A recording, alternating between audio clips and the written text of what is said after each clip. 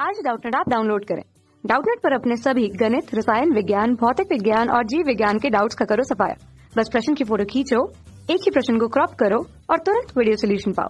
अभी डाउनलोड करें। प्रश्न हमें दिया है कि शून्य दशमलव सात दो मीटर लंबे किसी स्टील के तार का द्रव्यमान हमें पाँच गुना दस की घात ऋण तीन किलोग्राम दिया हुआ है। अब यदि तार पर तनाव का मान हमें साठ न्यूटन दिया हुआ है, तब तार में उत्पन्न होने वाले इस तरह अनुप्रस्थ तरंगों की चाल क्या होगी, ये हमसे पूछा जा रहा है।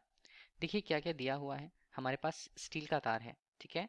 स्टील है और स्टील का तार है जिसके लिए उसके लंबाई का मान हमें, लंबाई को स्मॉल एल से प्रदर्शित करें, वो कितना दिया है?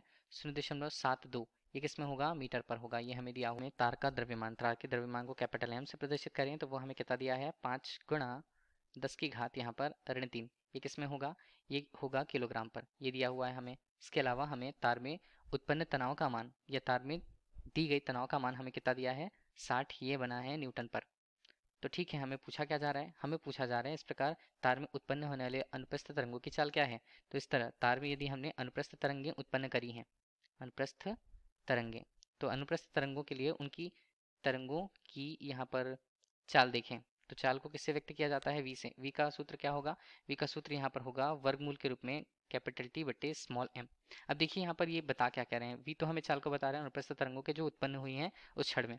और यहाँ पर बात आती है टी की। टी का मान यहाँ पर तनाव को बता रहा है और जबकि स्मॉल एम हमें क्या बता रहा है? स्मॉल एम हमें एकांक यहाँ पर लंबाई पर द्रव्यमान के मान को बता रहा है। तो हमें पूरा द्रव्यमान पूरे तार के लिए द्रव्यमान कैपिटल एम के रूप में दिया हुआ है। हमें स्मॉल एम का मान निकालना होगा। तो हम कैसे निकालें? इसे हम लिखते हैं लंबाई में द्रव्यमान के रूप में। स्मॉल एम से हमने उसे प्रस्तुत किया तो उसका मान क्या होगा?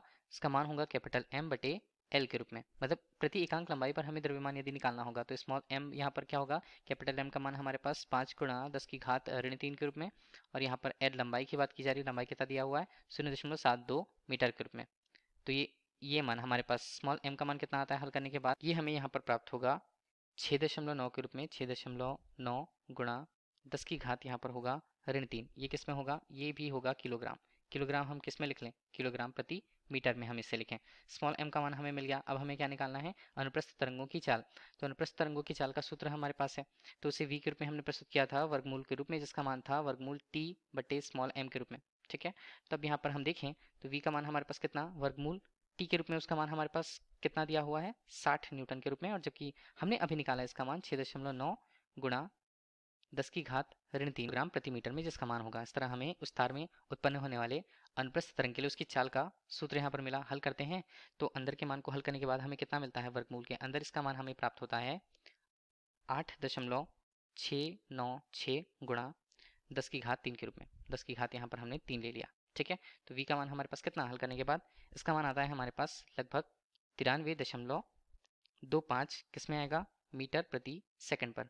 लेकिन हम इसे और क्या लिख सकते हैं? यदि राउंड फिगर या हम सार्थक रूप में इसे लिखें तो इसका मान लगभग हमारे पास आता है तिरानवे मीटर प्रति सेकंड के रूप में।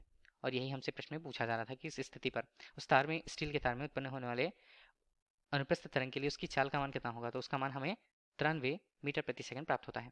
धन्यवाद। कक्षा छठी से बारहवीं से लेकर NEET I I T JEE वो एडवांस के लेवल तक। एक करोड़ से ज़्यादा छात्रों का भरोसा। आज ही डाउनलोड करें डाउट नेट ऐप या व्हाट्सअप करें अपने सारे डाउट्स आठ चार सौ चार सौ चार सौ पर।